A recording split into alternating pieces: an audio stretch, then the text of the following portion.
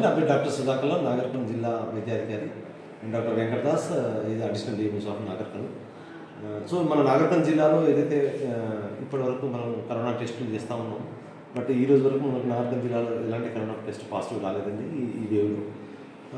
తర్వాత మనము ఏదైతే ఆ, ప్రజలకు ఏదైతే మనం చెప్తున్నామో ఈ కరోనా సిమ్టమ్స్ వచ్చినప్పుడు ఖచ్చితంగా మీరు మీకు సెల్ఫ్ ఐ ఐసోలేషన్ కావాలి ఫస్ట్ మీకు మీరుగా మీ కుటుంబ సభ్యులతో మీ ఇంట్లో ఉన్న ఫ్రెండ్స్తో మీ మీ ఫ్రెండ్స్తో మీ ఇంట్లో సపరేట్ అయ్యి.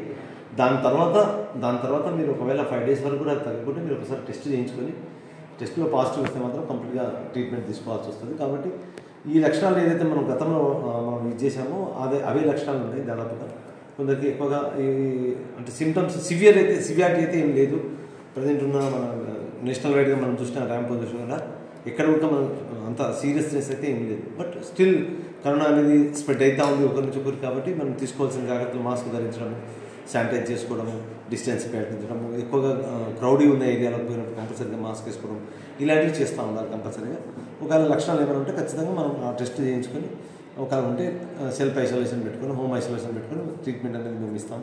సో ఏమైనా ఇబ్బంది ఉంటే మేము దానికి సంబంధించిన ట్రీట్మెంట్లు మనకు ఇక్కడ నాగర్కల్ జిల్లాలో మనం దాదాపుగా ఐసీయూ బెడ్స్ కూడా రిజర్వ్ చేసి పెట్టాము. పిఎస్సీస్లో కూడా మనం దాదాపు అన్ని కలిపి మనం దాదాపు ఒక ఒక హండ్రెడ్ అండ్ ఫిఫ్టీ బెడ్స్ వరకు మనకు ఉన్నాయి. ఐసోలేషన్ సెంటర్స్ కూడా మనం ఐడెంటిఫై చేసి పెట్టి ఆల్రెడీ ఉయ్యాలవాడ అనుకోండి తర్వాత తాడూరు అనుకోండి అచ్చమెట్లు అనుకోండి తర్వాత కొల్లాపూర్ ఏరియాలో మనం ఐడెంటిఫై చేసి ఉంటాం గతంలోనే. సో ఒకవేళ కేసెస్ ఏమైనా ఓవర్కమ్ ఎక్కువ బర్డెన్ వస్తే out outflow outbreak గిట్ అయితే మనం పెట్టుకోవడానికి కూడా మనకు గవర్నమెంట్ ఆల్రెడీ మనం కలెక్టర్ గారి ఆదేశానుసారం మనం అవన్నీ ఐడెంటిఫై చేసి పెట్టాము. ఇప్పుడైతే మన జిల్లాలో అయితే కరోనా కేసులు ప్రజెంట్గా అయితే నిల్లేదు ఒక పదిహేను రోజుల నుండి మంచు వాతావరణం కూడా చేంజ్ అవుతుంది సార్. సీజనల్ వ్యాధులు కూడా స్టార్ట్ అవుతున్నాయి. ఎస్ అండి ఇప్పుడు ఇది అంటే చలికాలం కాబట్టి కొద్దిగా సీజనల్ వేరియేషన్ అనేది ఉంటా ఉంటుంది. మీరు నన్నే చూస్తుండొచ్చు కొంచెం ముక్కుతో మాట్లాడుతుంటుంది. సో ఇది ఇది కంజెషన్ అనేది ఉంటుందండి. జనరల్గా చలికాలంలో కంజెషన్ అంటే కుచించుకోపోవడం అనేది ఉంటుంది. సో గొంతులో కూడా కుచించుకోపోవడం అనుకోండి ఇన్ఫెక్షన్ రావడం అనేది చాలా కామన్గా జరుగుతుంది. బట్ ఎక్కడైనా మనం ఓపీ చూసుకుంటే ఇప్పుడు ప్రజెంట్గా మనకు జిల్లాలో ఉన్న అవుట్ పేషెంట్లను చూసుకుంటే ఎక్కువగా గొంతు నొప్పితోనూ కొంచెం కోల్డ్తోనూ కొంచెం సఫర్ అవుతా ఉన్నారు. కొంచెం మైల్డ్ ఫీవర్తో సఫర్ అవుతా ఉన్నారు.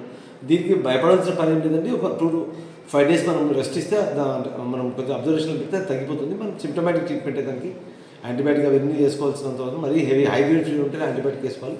అదర్వైజ్ నార్మల్గా మేము సింటమాటిక్గా ఇంత పారాసిటమాల్ ప్లస్ గో కోల్డ్ వాటర్తో అంటే గోరువెచ్చని నీళ్ళతో కొంచెం సాల్ట్ వాటర్ గార్గిలింగ్ చేస్తే సరిపోతుంది.